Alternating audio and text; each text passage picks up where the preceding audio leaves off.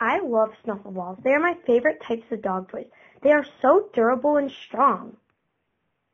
Our puppy Shelby is a puppy, and she hasn't destroyed this thing once. There's also many different ways you can play with them. You can throw it, or you can fill it up with treats, and I can show you how to do that.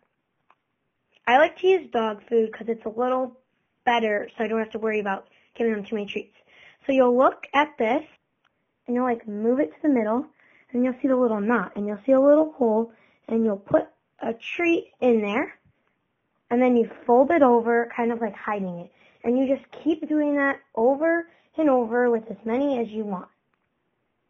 And then you give it to your dog and they'll sniff around and try and get all of the treats that they possibly can.